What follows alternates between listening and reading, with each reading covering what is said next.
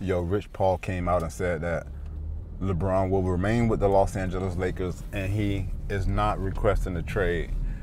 Like it's crazy that the agent has to come out and say this because of the guy who predicted some major moves in the NBA. He had Kawhi going to the Clippers. I think he called LeBron to Miami and LeBron back to Cleveland. Like they're trying to say this guy don't know what he's talking about, or they just want to keep shit hush, or don't want to let us know it's too early, or there's going to be something really big happening. Whatever the case is.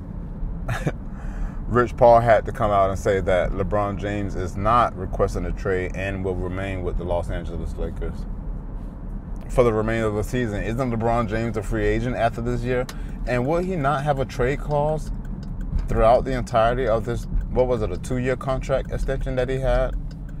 So, with him being a free agent this year, the trade deadline is in five days, six days.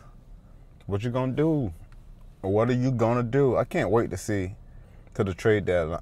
I can't wait to see what happens on the day of the trade deadline.